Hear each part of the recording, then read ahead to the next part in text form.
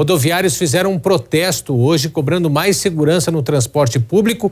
Isso, claro, vem depois da morte do cobrador Ariel Santos Marques. Ele foi morto durante um assalto em um ônibus. A Ariane Bittencourt está lá na rodoviária, nos traz mais informações ao vivo.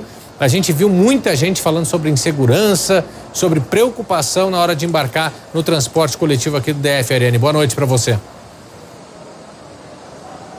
Isso mesmo, Porta Nova, boa noite a você, a todo mundo que nos acompanha. O Ariel foi morto ontem à noite na DF-001. Ele estava trabalhando como cobrador na linha que faz o trajeto entre Santa Maria e Ceilândia. Quando o ônibus parou ali na região da DF-001, na altura do Recanto das Emas, três criminosos entraram nesse veículo e acabaram anunciando o assalto. Conseguiram levar dinheiro e três celulares, mas um deles atirou na cabeça desse cobrador que morreu na hora. A polícia já identificou os três suspeitos. Um deles acaba de ser apreendido, o menor de idade já está nas mãos da Polícia Civil, mas hoje, então, cobradores e motoristas fizeram uma paralisação, uma manifestação, melhor dizendo, lá onde tudo isso aconteceu, pedindo por mais segurança, melhores condições de trabalho e por um ambiente de fato mais seguro, não só para eles, os rodoviários, mas também para os passageiros de todo o Distrito Federal. A queixa com relação à insegurança é muito grande.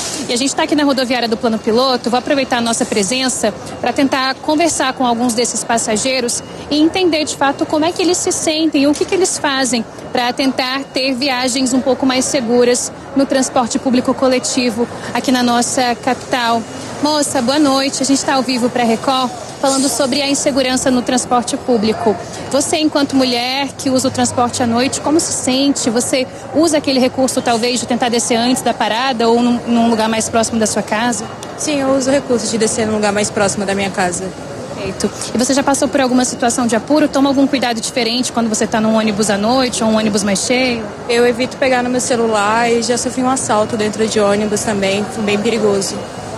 E aí, desde então, você tentou de alguma forma melhorar os seus cuidados ou ficar um pouco mais atento? Sim, exatamente. Obrigada pela sua participação, viu?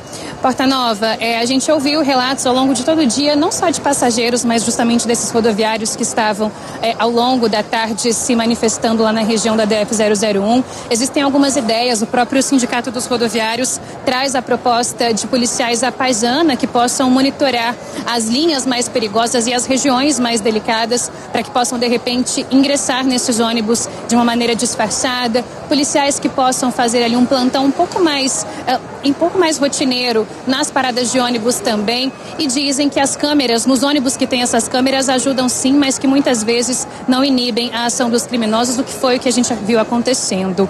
O Ariel, que foi morto então na noite de ontem, era morador da região do Novo Gama, trabalhava como cobrador aqui na capital federal, tinha acabado de fazer aniversário e agora vai ser velado na manhã de amanhã lá na região do Novo Gama.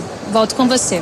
Obrigado, Ariane. Lembrando que um menor de idade foi apreendido no entorno e, segundo informações da polícia do estado de Goiás, teria confessado já a participação nesse crime.